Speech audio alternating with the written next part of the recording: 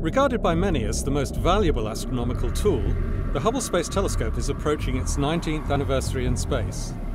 Hubble sees into the far reaches of the universe, but its powerful instruments have also surveyed our planetary neighbours. In this episode, we'll see what Hubble has revealed to us in our own solar backyard.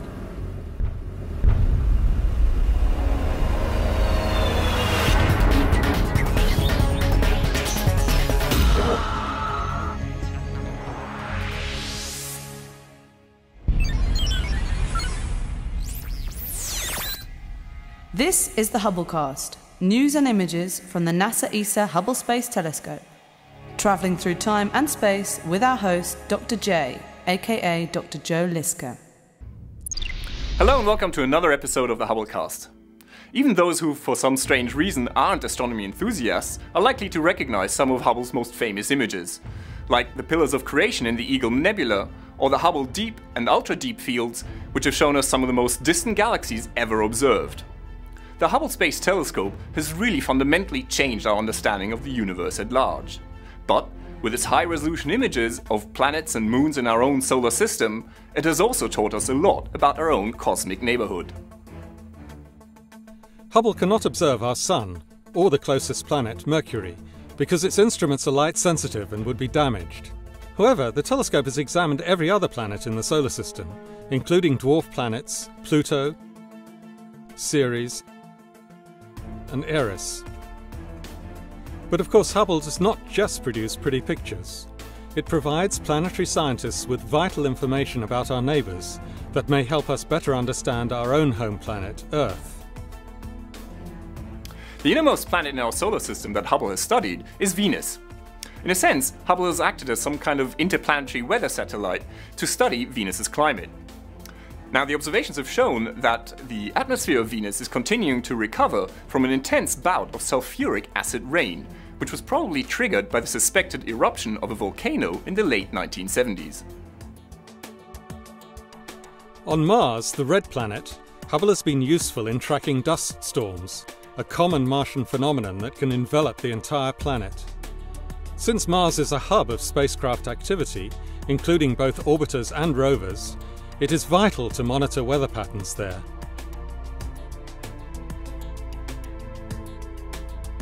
After the terrestrial planets come the gas giants, beginning with Jupiter, the largest planet in our solar system.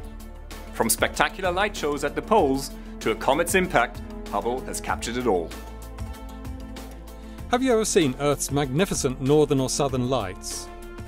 All of the planets are subjected to solar wind, charged particles ejected from the Sun's atmosphere. When this wind collides with particles within the planet's magnetic field, they give off light, creating the familiar polar phenomenon. Using Hubble, astronomers have been able to capture the same spectacle on Jupiter. Hubble caught the evidence of comet Shoemaker-Levy's collision with Jupiter in the early 1990s. Seeing the aftermath of the impact in such detail offered a unique opportunity to witness this cosmic event without the danger of experiencing it on Earth. Continuing its neighborhood watch, Hubble has also taken some breathtaking images of that wondrous ring planet Saturn. Again, with its sharp eyes, it's been able to observe weather patterns on Saturn and see some of its moons.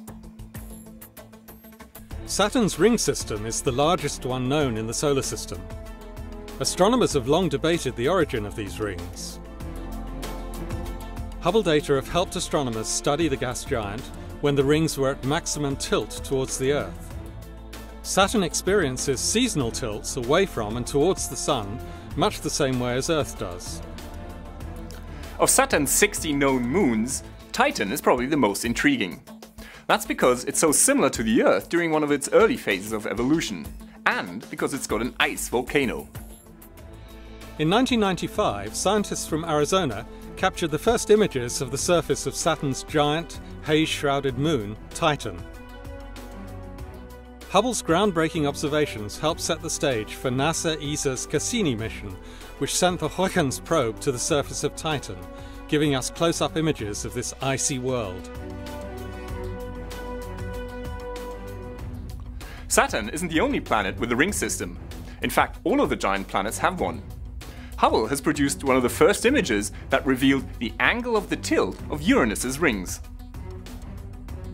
Hubble scientists were, for the first time with visible light, able to detect clouds and wind speeds in the northern hemisphere of Uranus. And Hubble data from Neptune have shown the planet's powerful equatorial jet stream, immense storms, and dark spot in its northern hemisphere. In a way, our solar neighborhood changed in 2006, when one of our planetary neighbors, Pluto, was downgraded from a planet to a dwarf planet. When it's closest to Earth, Pluto is still a whopping 4.28 billion kilometers away. To give you an idea of how far that is, NASA's New Horizons spacecraft is currently on its way to Pluto, and it should arrive there in just about nine years.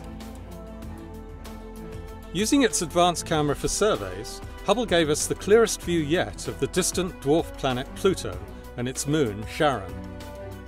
In 2006, using the same camera, Hubble confirmed two additional dwarf planets, Ceres and Eris.